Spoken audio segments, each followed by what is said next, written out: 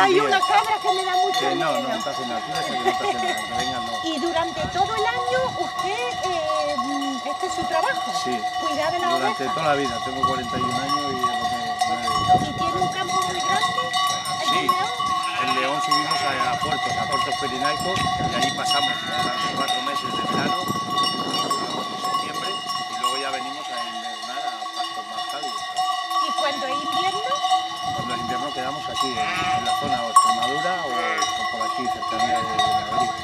Muy bien, no sé si se nos va a oír con tanta oveja, Sí, yo creo que- pero, pero bueno, haremos lo que podamos con el audio después, ¿no, Mario? Y llevamos ya 30 días con hoy caminando. Y 30 viendo- días caminando. sí. Uy, y desde León aquí a Madrid. Cuando las ovejas pasen por sol, otra vez de vuelta. Vuelven a su, a su casa, a, su, a, a invernar se llama, que pargan porque están para parir. Pero que vienen en camiones, Andando venimos. andando, andando. Este Qué año barbaridad. andando. Salimos el día 20 de, de- de octubre. 20 de octubre. Y bueno, y si usted quisiera, eh, por ejemplo, porque en la vida de los pastores es algo como que vemos en las películas, que no, que no nos hacemos idea de que exista esto. Sí, existe. ¿Qué diría pues, usted que, que necesitan los pastores? ¿Protección oficial? ¿Más pasto? Más... ¿Qué, qué pediría usted para que les facilitara el trabajo? Es una cosa que, vamos, se lo va facilitando con el tiempo porque ya hay muchos adelantos, ¿me entiende? Y bueno, que valiera más la carne y que ayudara al mar, ¿me entiende? Porque lo que vale la carne ahora está valiendo como 28 años atrás y a ti te han subido todos los impuestos, piensos, fincas, tal, pero lo tuyo sigue igual, incluso peor. O sea, que tienen que pagar por todo, pienso tal, Por pero todo. la carne igual que hace 30 años. Que hace 30 años igual. A ti te suben seguridad social, te suben impuestos y... Pues a ver si los señores políticos hacen algo por los pastores. Sí, esto con Franco no pasaba, ¿eh? Bueno, bueno, bueno. Oye, eso, eso lo vamos a cortar, ¿no, Mario? Tú verás. Ay, Y este, y este señor que ha venido a verle, oiga, oiga, Quijote. hijo, venga usted para acá, porque aquí ha venido un, un señor buscándole que creo que se ha atravesado toda la mancha para buscarle.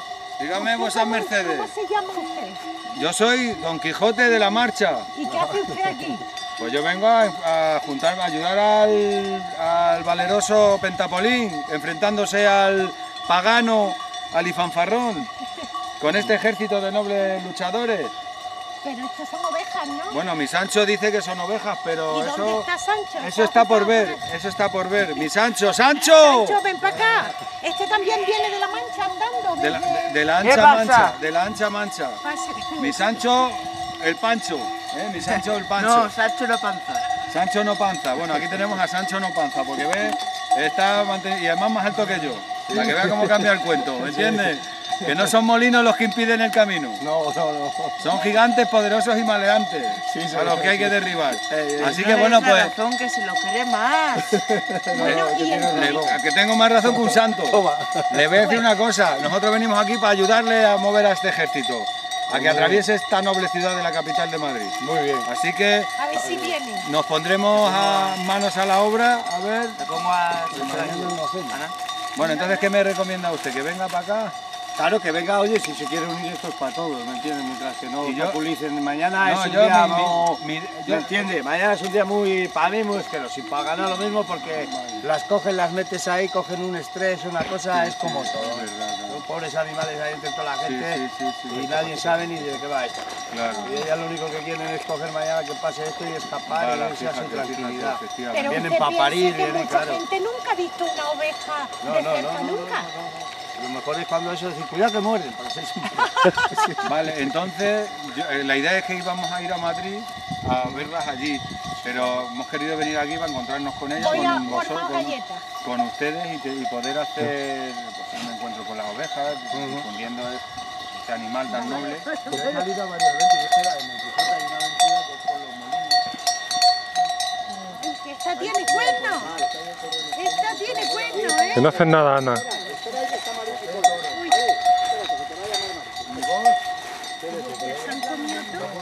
Bueno, ¿y vos cómo os encontráis en estos lares? ¿A qué os dedicáis? Pues yo llevo unos meses pastoreando, pero soy estudiante, principalmente soy estudiante de antropología social Ajá. y me gusta mucho la transhumancia como proceso ecológico y, y es, es, eh, hay mucha biodiversidad y hay que protegerla a través de la transhumancia. Es muy buena para la dispersión de semillas, para como cortafuegos natural y la verdad es que la verdad es que necesitamos eh, que reivindicar esto y llevamos reivindicándolo ya desde 25 años. Eh, toda la gente que está aquí lleva reivindicándolo más de 25 años y este año ya, mañana salimos el domingo para allá y estoy deseando salir con ellos porque me encanta el pastoreo, me encanta la transhumancia y, y- y Es una cosa que hay que recuperar. Sí, es una cosa que quiero. Bueno, yo de hecho, eh, estimado caballero, me dedico, también reivindicamos una vía verde, Mm. reivindicando las vías pecuarias, Sí, espacios de transhumancia que luego hoy en día pueden usar los peatones, los, los biciclistas en Rocinantes y de alguna manera eh, hay una vía verde que hemos reivindicado que se llama la vía verde y el corredor ecológico de- del oeste, que es eh, Arroyo, Me- Arroyo Meaques. Y, y además el, eh, la vía verde que va desde Leganés, Alcorcón, eh, Villaviciosa, Dodón, Aluche, Campamento, Madrid, que une con la Cañada Real. Sí, Así bueno. que yo me encuentro aquí también para apoyar esta noble causa en defensa de este noble ejército, sin Pues duda. muchísimas gracias. Así que mañana estaré em, con vuestra compañía a desfacer estos entuertos, agravios y sin razones y a derribar gigantes, Pues, porque no son molinos los que impiden el camino, estimado caballero. gracias. Así que vayamos pues en pro de esta batalla.